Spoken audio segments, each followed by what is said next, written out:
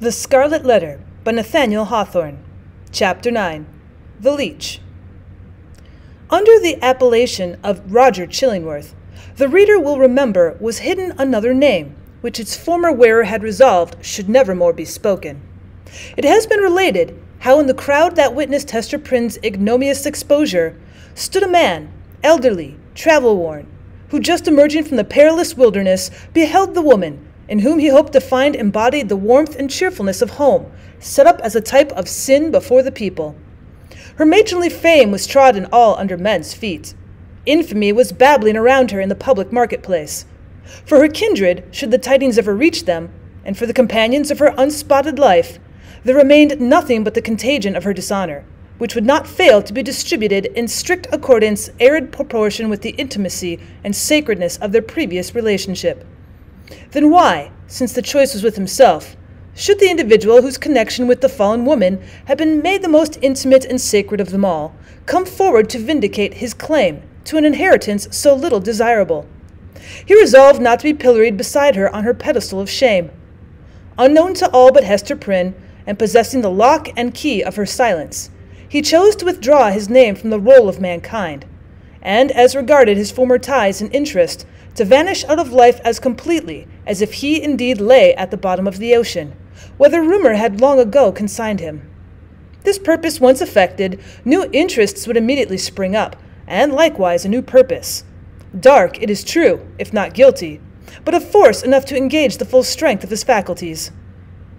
In pursuance of this resolve, he took up his residence in the Puritan town as Roger Chillingworth, without other introduction than the learning and intelligence of which he possessed more than a common measure. As his studies, at a previous period of his life, had made him extensively acquainted with the medical science of the day, it was as a physician that he presented himself, and as such he was cordially received. Skilful men of the medical and chirurgical profession were of rare occurrence in the colony. They seldom, it would appear, partook of the religious zeal that brought other emigrants across the Atlantic. In their researches into the human frame, it may be that the higher and more subtle faculties of such men were materialized, and that they lost the spiritual view of existence amid the intricacies of that wondrous mechanism, which seemed to involve art enough to comprise all of life within itself. At all events, the health of the good town of Boston, so far as medicine had aught to do with it, had hitherto lain in the guardianship of an aged deacon and apothecary, whose piety and godly deportment were stronger testimonials in his favor than any he could have produced in the shape of a diploma. The only surgeon was one who combined the occasional exercise of that noble art with the daily and habitual flourish of a razor. To such a professional body, Roger Chillingworth was a brilliant acquisition.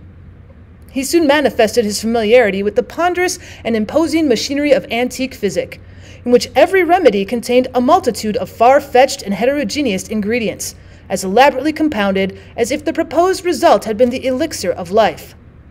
In his Indian captivity, moreover, he had gained much knowledge from the properties of native herbs and roots. Nor did he conceal from his patients that these simple medicines, nature's boon to the untutored savage, had quite as large a share of his own confidence as the European pharmacopoeia, which so many learned doctors had spent centuries in elaborating. This learned stranger was exemplary, as regarded at least in the outward forms of religious life, and early after his arrival had chosen for his spiritual guide the Reverend Mr. Dimmesdale.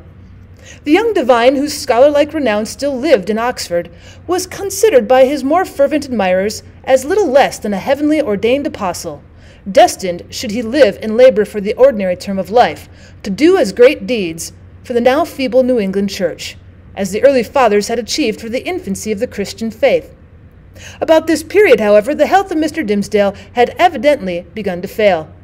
By those best acquainted with his habits, the paleness of the young minister's cheek was accounted for by his too earnest devotion to study, his scrupulous fulfillment of parochial duty, and more than all, to the fasts and vigils of which he made a frequent practice, in order to keep the grossness of this earthly state from clogging and obscuring his spiritual lamp. Some declared that if Mr. Dimmesdale were really going to die, it was cause enough that the world was not worthy to be any longer trodden by his feet. He himself, on the other hand, with characteristic humility, avowed his belief that if Providence should see fit to remove him, it would be because of his own unworthiness to perform its humblest mission here on earth. With all this difference of opinion as to the cause of his decline, there could be no question of the fact. His form grew emaciated. His voice, though still rich and sweet, had a certain melancholy prophecy of decay in it. He was often observed, on any slight alarm or other sudden accident, to put his hand over his heart, with first a flush and then a paleness indicative of pain. Such was the young clergyman's condition, and so imminent the prospect that his dawning light would be extinguished, all untimely, when Roger Chillingworth made his advent into the town. His first entry on the scene, few people could tell whence, dropping down as it were out of the sky, or starting from the nether earth, had an aspect of mystery, which was easily heightened to the miraculous.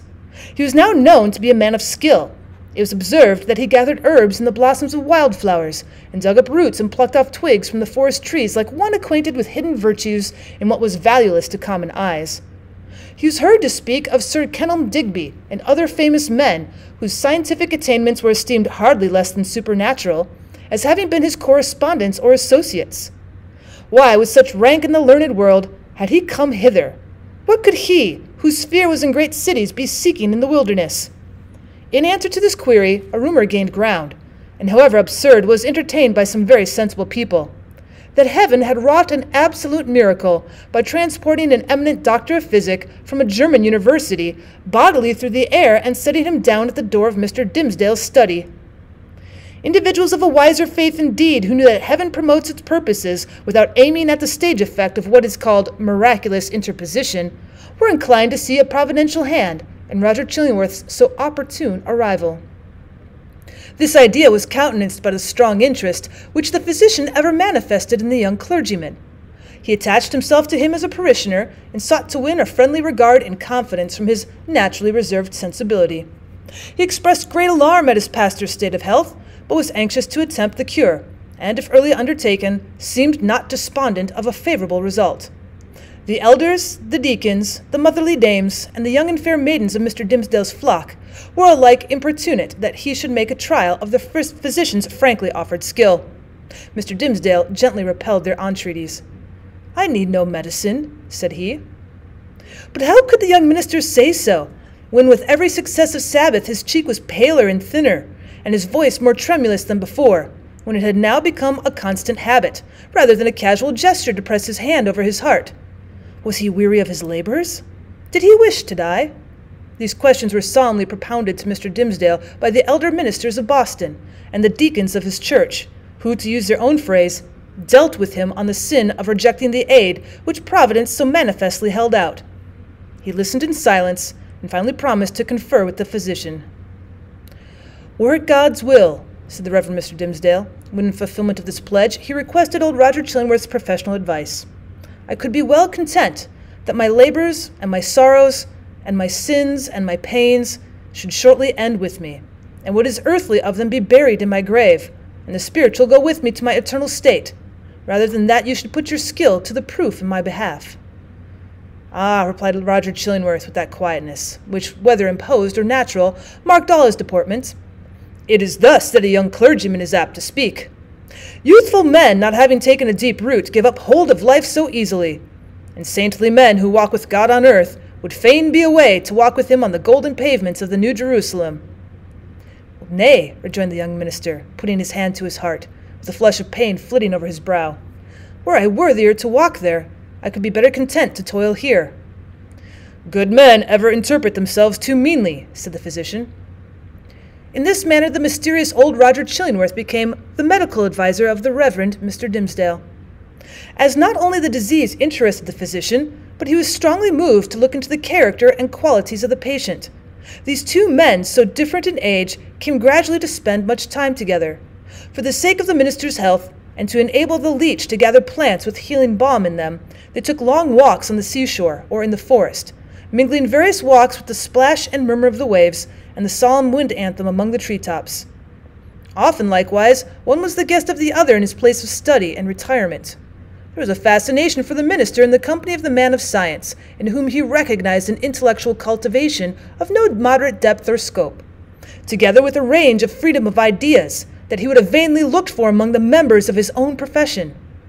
In truth, he was startled, if not shocked, to find this attribute in the physician. Mr. Dimmesdale was a true priest, a true religionist, with a reverential sentiment largely developed, and an order of mind that impelled itself powerfully along the track of a creed, and wore its passage continually deeper with the lapse of time. In no state of society would he have been what is called a man of liberal views. It would always be essential to his peace to feel the pressure of a faith about him, supporting while it confined him within its own iron framework. Not the less, however, though with a tremulous enjoyment, did he feel the occasional relief of looking at the universe through the medium of another kind of intellect than those with which he habitually held converse. It was as if a window were thrown open, admitting a freer atmosphere into the close and stifled study, where his life was wasting itself away amid lamplight or obstructed daybeams, and the musty fragrance, be it sensual or moral, that exhales from the books. But the air was too fresh and chill to be long breathed with comfort. So the minister, and the physician with him, withdrew again within the limits of what their church defined as orthodox. Thus Roger Chillingworth scrutinized his patient carefully, both as he saw him in his ordinary life, keeping an accustomed pathway in the range of thoughts familiar to him, and as he appeared when thrown amidst other moral scenery, the novelty of which might call out something new to the surface of his character. He deemed it essential, it would seem, to know the man before attempting to do him good. Wherever there's a heart and an intellect, the diseases of the physical frame are tinged with the peculiarities of these. In Arthur Dimmesdale, thought and imagination were so active, and sensibility so intense, that the bodily infirmity would be likely to have its groundwork there. So Roger Chillingworth, the man of skill, the kind and friendly physician, strove to go deep into his patient's bosom, delving among his principles, prying into his recollections, and probing everything with a cautious touch, like a treasure seeker in a dark cavern. Few secrets can escape an investigator who has opportunity and license to undertake such a quest, and skill to follow it up.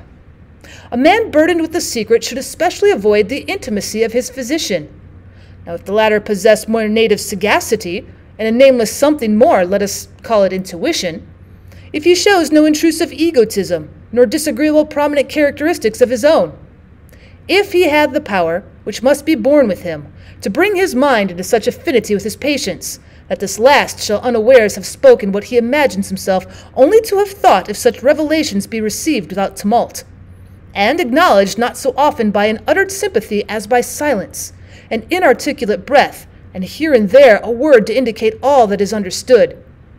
If to these qualifications of a confidant be joined the advantages afforded by his recognized character as a physician, then at some inevitable moments will the soul of the sufferer be dissolved and flow forth in a dark but transparent stream, bringing all its mysteries into the daylight. Roger Chillingworth possessed all, or most, of the attributes above enumerated. Nevertheless, time went on.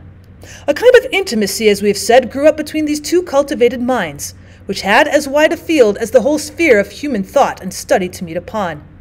They discussed every topic of ethics and religion, of public affairs and private character. They talked much on both sides of matters that seemed personal to themselves, and yet no secret such as the physician fancied must exist there, they ever stole out of the minister's consciousness and into his companion's ear. The latter had his suspicions, indeed, that even the nature of Mr. Dimmesdale's bodily disease had never fairly been revealed to him. It was a strange reserve. After a time, at a hint from Roger Chillingworth, the friends of Mr. Dimmesdale effected an arrangement by which the two were lodged in the same house, so that every ebb and flow of the minister's lifetide might pass under the eye of his anxious and attached physician. There was much joy throughout the town when this greatly desirable object was attained. It was held to be the best possible measure for the young clergyman's welfare, unless indeed, as often urged by such as felt authorized to do so, he had selected someone of the many blooming damsels spiritually devoted to him to become his devoted wife. With this latter step, however, there was no present prospect that Arthur Dimmesdale would be prevailed upon to take. He rejected all suggestions of the kind, as if priestly celibacy were one of his articles of church discipline.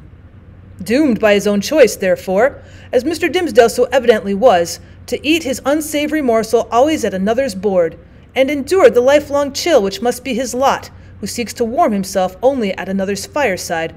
It truly seemed that this sagacious, experienced, benevolent old physician, with his concord of paternal and reverential love for the young pastor, was the very man of all mankind to be constantly within reach of his voice. The new abode of the two friends was with a pious widow of good social rank who dwelt in a house covering pretty nearly the site on which the venerable structure of the King's Chapel has since been built. It had the graveyard, originally Isaac Johnson's home field, on one side, and so was well adapted to call up serious reflections, suited to their respective employments in both minister and man of physic. The motherly care of the good widow assigned to Mr. Dimmesdale a front apartment with a sunny exposure and heavy window curtains to create a noontide shadow when desirable. The walls were hung round with tapestry, said to be from Gobelin looms, and at all events representing the scriptural story of David and Bathsheba, and Nathan the prophet, in colors still unfaded, but which made the fair woman of the scene almost as grimly picturesque as the woe denouncing seer. Here the pale clergyman piled up his library, rich with parchment bound folios of the fathers and the lore of rabbis and monkish erudition of which the Protestant divines, even while they vilified and decried that class of writers, were yet constrained often to avail themselves.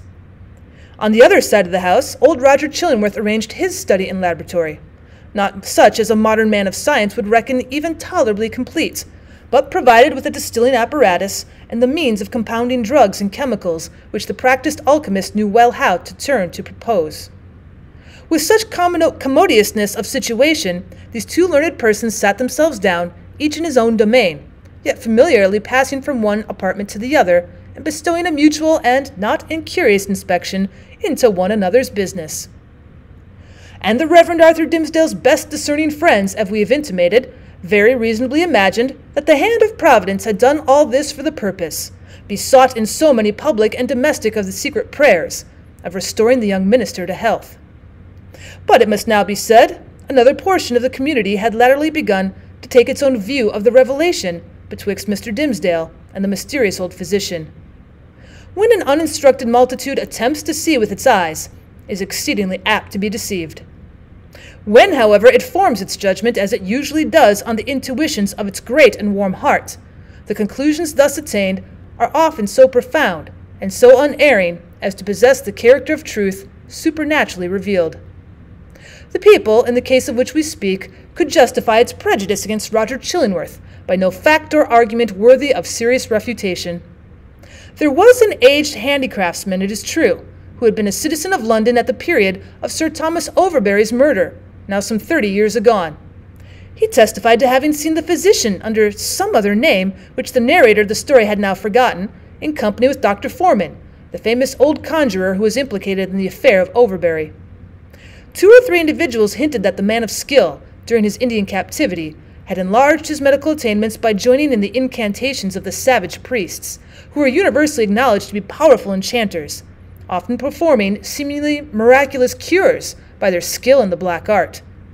A large number, and many of these were persons of such sober sense and practical observation that their opinions would have been valuable in other matters, affirmed that Roger Chillingworth's aspect had undergone a remarkable change while he had dwelt in town, and especially since his abode with Mr. Dimmesdale. At first his expression had been calm, meditative, scholar-like. Now there was something ugly and evil in his face, which they had not previously noticed, and which grew still the more obvious to sight the oftener they looked upon him. According to the vulgar idea, the fire in his laboratory had been brought from the lower regions, and was fed with infernal fuel, and so, as might be expected, his visage was getting sooty with the smoke. To sum up the matter, it grew to be a widely diffused opinion that Reverend Arthur Dimmesdale, like many other personages of special sanctity in all ages of the Christian world, was haunted either by Satan himself or Satan's emissary, in the guise of old Roger Chillingworth. This diabolical agent had the divine permission for a season to burrow into the clergyman's intimacy and plot against his soul. No sensible man, it was confessed, could doubt on which side the victory would turn. The people looked with an unshaken hope to see the minister come forth out of the conflict, transfigured with the glory which he would unquestionably win. Meanwhile, nevertheless, it was sad to think of the perchance mortal agony through which he must struggle towards his triumph. Alas, to judge from the gloom and terror in the depth of the poor minister's eyes, the battle was a sore one, and the victory anything but secure.